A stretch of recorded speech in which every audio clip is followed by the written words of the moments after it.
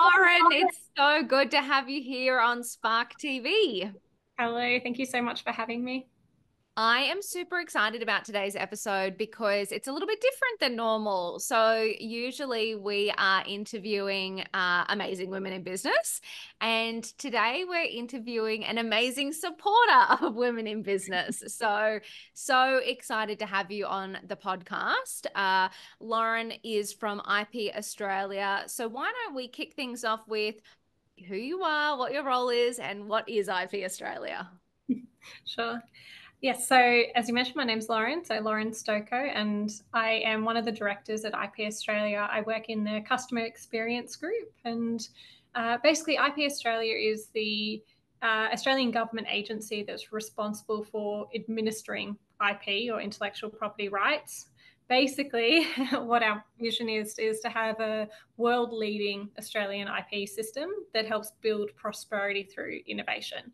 We know that ip helps to encourage innovation and one of the things that we're really passionate about is supporting small to medium businesses to be able to uh, have efficient access to products and services so that they can continue to innovate and do what they do best I love that so much. And I love that that's, you know, why we've partnered with IP Australia as well, because you are such passionate supporters of, um, you know, not only women in business, but innovation and business in general. So, um, yeah, super excited for this conversation.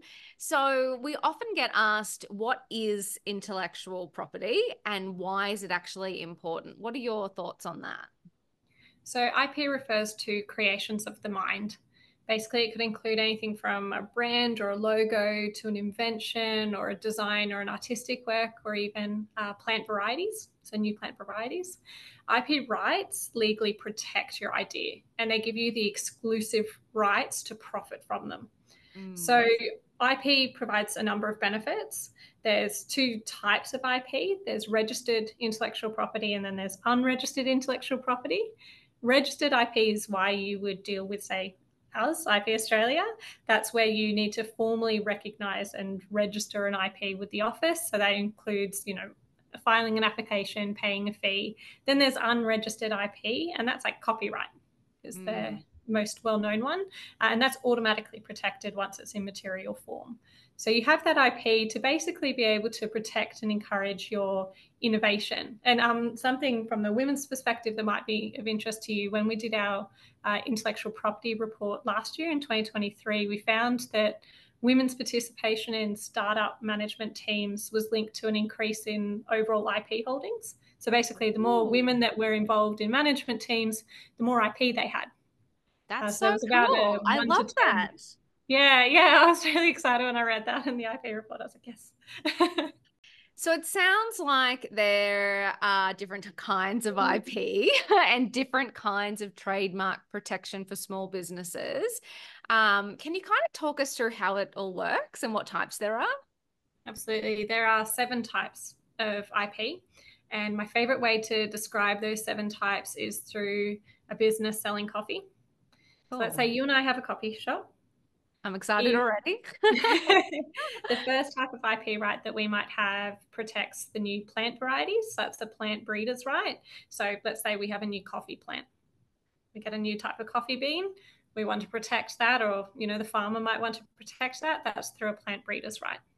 Cool. Then you go, okay, I take that coffee bean and then I use my coffee machine to be able to turn it into coffee let's say I have a new type of coffee machine, a new invention, a patent mm. protects how that invention works. From there, the coffee will go into a cup. And let's say we've got this awesome design for a cup that will be protected by a design right. We then want to sell our coffee, so we need a brand. Our brand is protected by a registered trademark. So we could have, say, a logo that's on our coffee cup. Mm. Then, if we have a brochure selling, you know, showing, advertising the different types of coffee that we sell. The what is written there, so the original expression of that idea is covered automatically covered by copyright. So the four previous ones you need to register. Copyright you don't need to register. It's automatically protected once it's in written in material form. Okay. Then we might have like a trade secret, let's say a different blend, a secret blend of coffee beans that would be protected by uh, trade secrets are generally protected by like non-disclosure agreements. Mm. So rather than registered IP, and then finally there's circuit layouts. So as in like chips, computer oh, chips. Wow. So different layouts for those circuits are also automatically protected.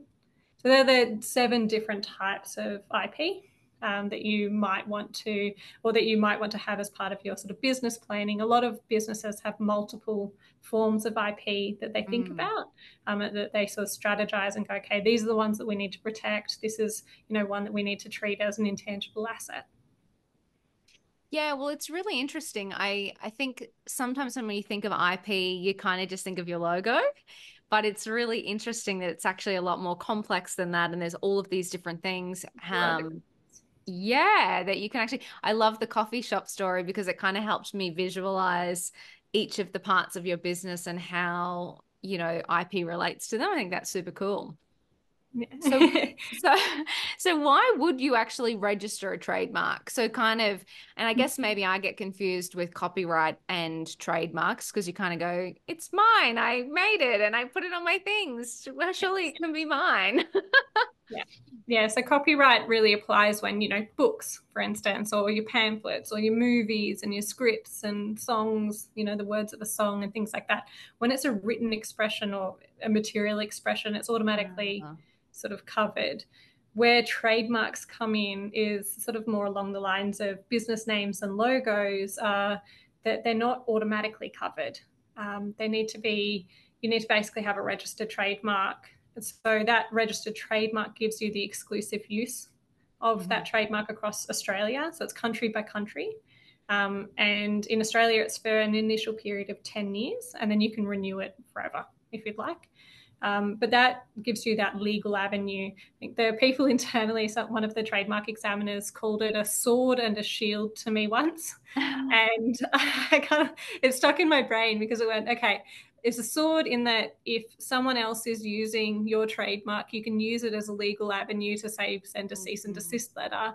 But it's also that shield if someone else says, hey, you're using my trademark, or I've got this idea too, and you're using it, and you can say, well, actually, I registered it it's my idea i'm using it um, and then you can it's a it's an asset and you can license it you can sell it that's so cool um, I know from personal experience, it's one of the questions. So, when we started capital raising for one of our mm-hmm. businesses, mm-hmm. investors would often ask, you know, what IP assets we had. So, I love that you're referring to them as an asset because I also think sometimes we feel as business owners like this is so complex. Do we really need to worry about it?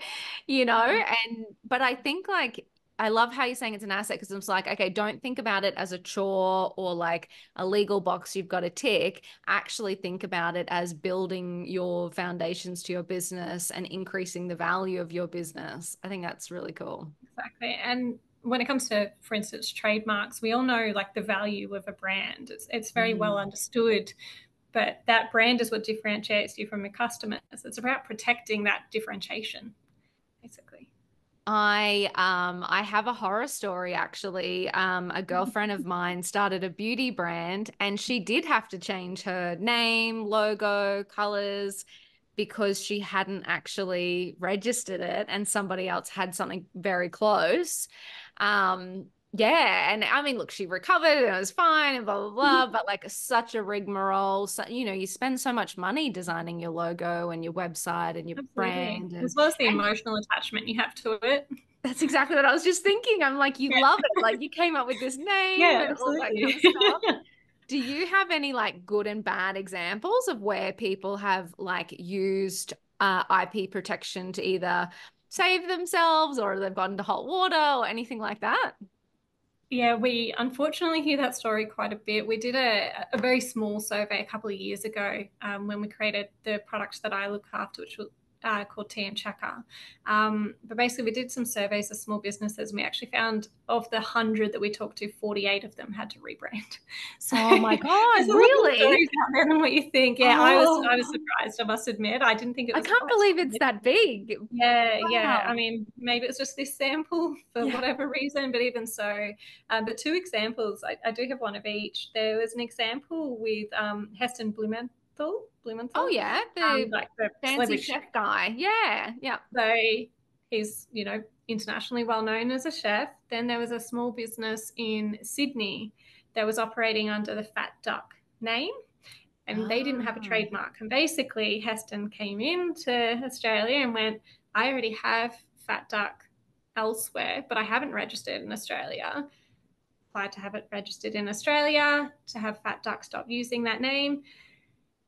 Long story short, Fat Duck, the Sydney restaurant, is now renamed, and Heston is now owns that trademark because they they didn't have the trademark and you know that consistent use and things like mm. that to be mm. able to protect it. So that's where someone you know a bigger brand name came in and said, look, you don't have that protection.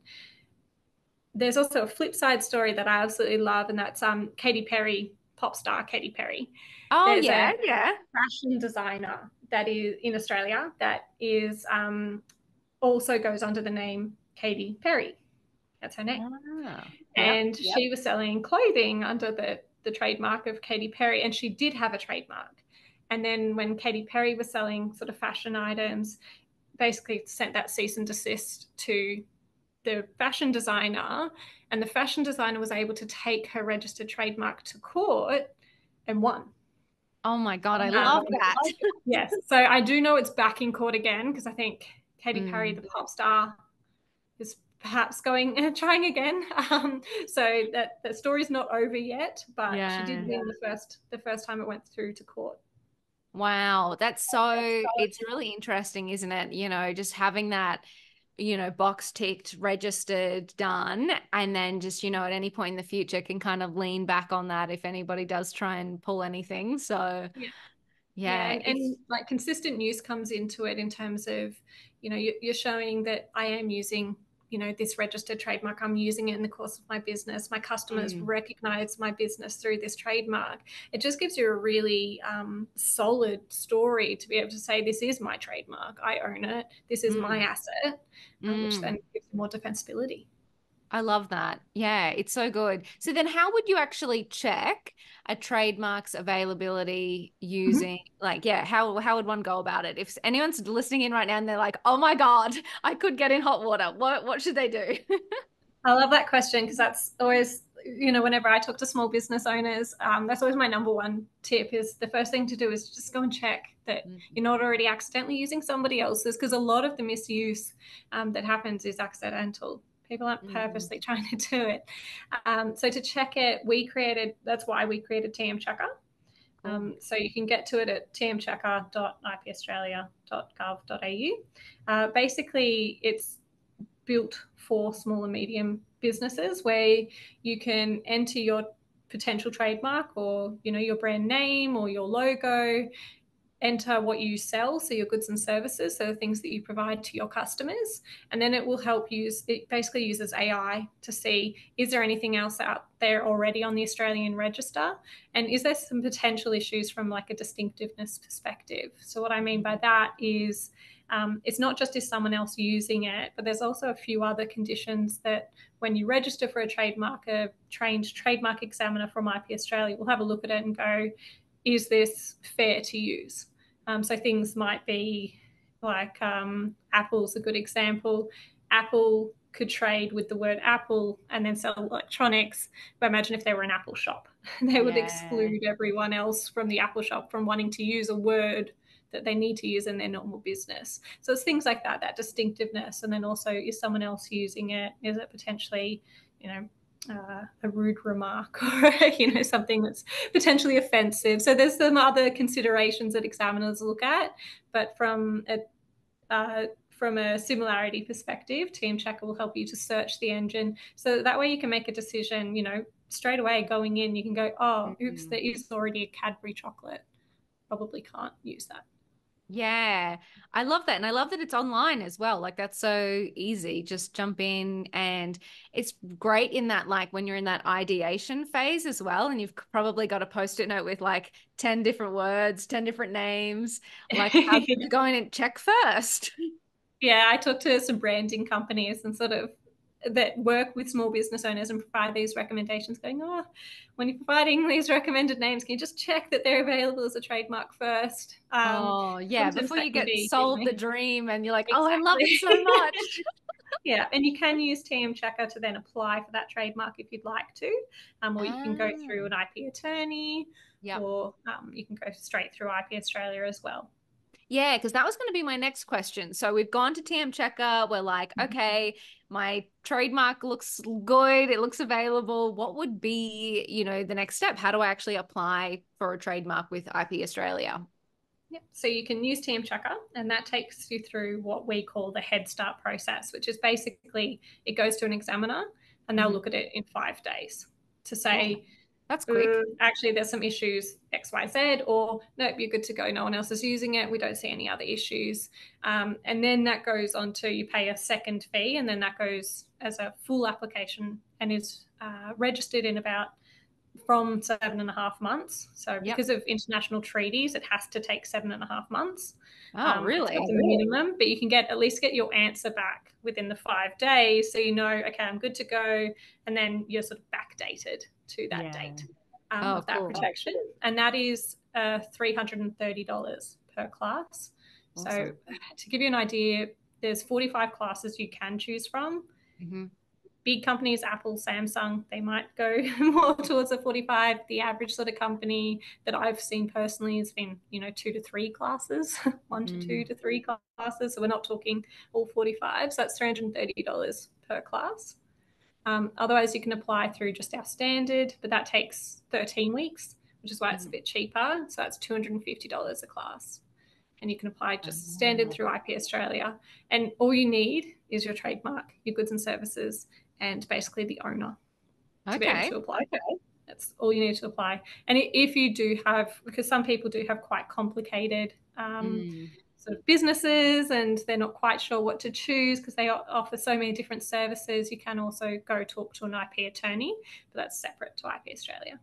Yeah, and that's just what I was thinking in my head. I, you know, it kind of as we're talking through it now it's sounding simpler and simpler as we as we talk through the steps. And i was like okay i wonder why then you would go to uh, a lawyer an ip lawyer or a trademark attorney to do it. But i guess you're right. Some people do have quite complex businesses and they can. And, and sometimes like you know if you do get so it enters something called an opposition period which basically means which is something if you do have a registered trademark you should probably keep a look an eye out for but there's yeah. a period in there uh, in that seven and a half months where someone could say hey i already use that trademark and they can oppose it Ah, um, which okay. you then you know reply to and everything like that but sometimes that can get a little bit complicated so mm-hmm. we we're at ip australia we're trying to make it as simple as possible for small business owners to get to register that trademark yeah. but in cases where there is some more complexity that's where yeah an ip attorney can be handy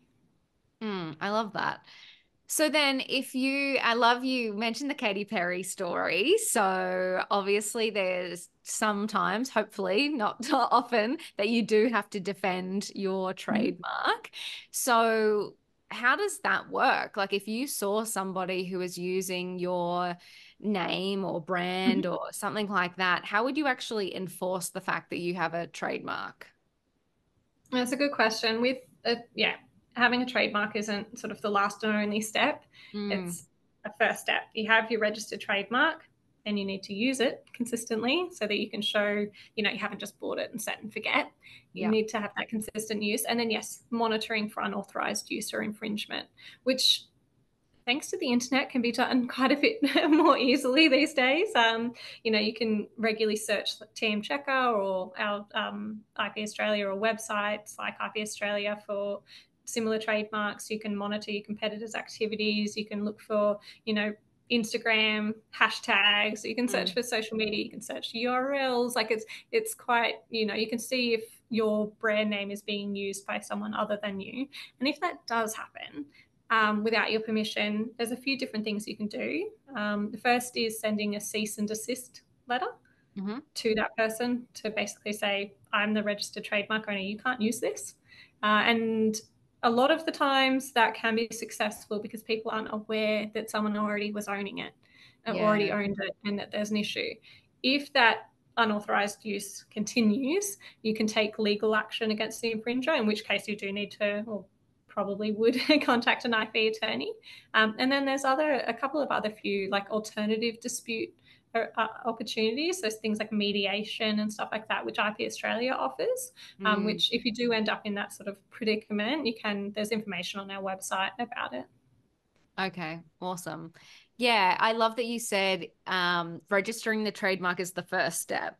So it's kind of like if something bad happens, you've got that to fall back on. But if you don't take the first step, then yeah, you're going to be in some, you might get yourself into hot water. You could. There is ways mm. to protect it through sort of common law provisions to say, oh, but I've been using this in my business. And, you know, it's possible, mm. but it's hard. Mm. Yeah. Make it easy for yourself, people. I love that. Yes.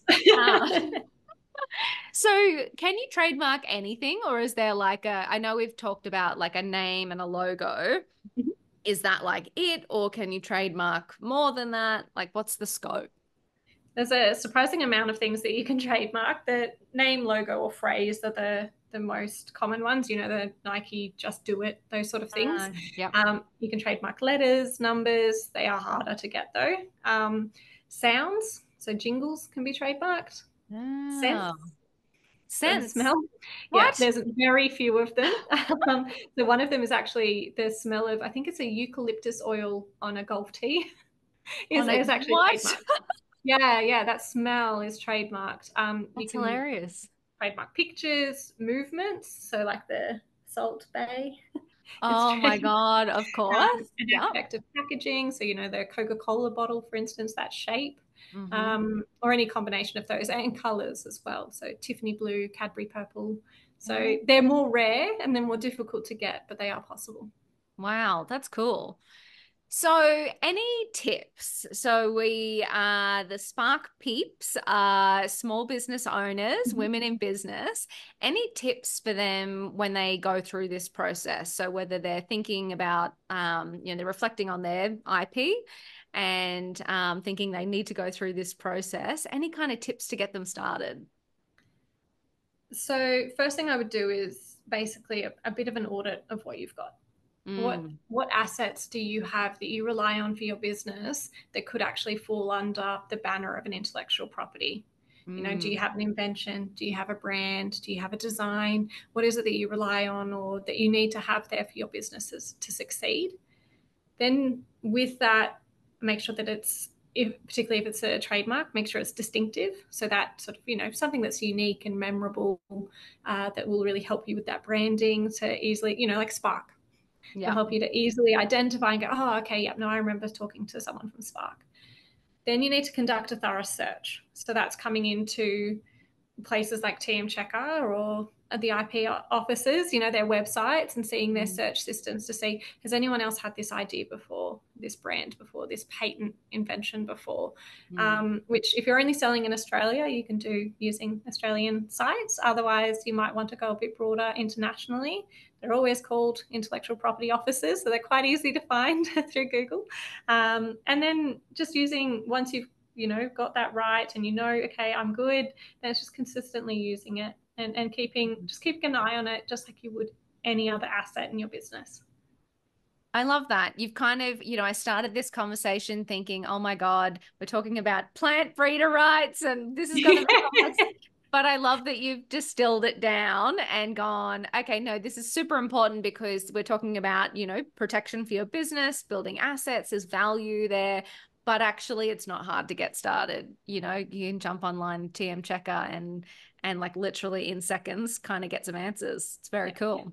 Yeah there's a, there's a lot of information out there. So and and there's a couple of services you know there's something for small businesses if called the um, patents sme service if you're a small business and you haven't used an ip attorney before and you want to get a patent Um, there's actually a free service where we can offer you some more information that you might get otherwise. You know, there's TM Checker for trademarks. So there's there's quite a bit there to support small businesses. That's so good. We'll make sure that we link up all of that in the show notes as well so yeah. that people can get easy access. Lauren, you are the best. Thank you so much for jumping on this episode of Spark TV and sharing the IP Australia wisdom. I know, even personally, I just got a lot of clarity. So I know everyone dialing in uh, will get that as well. So thank you so much for your time. Great to hear. Thank you so much for having me. Really appreciate it.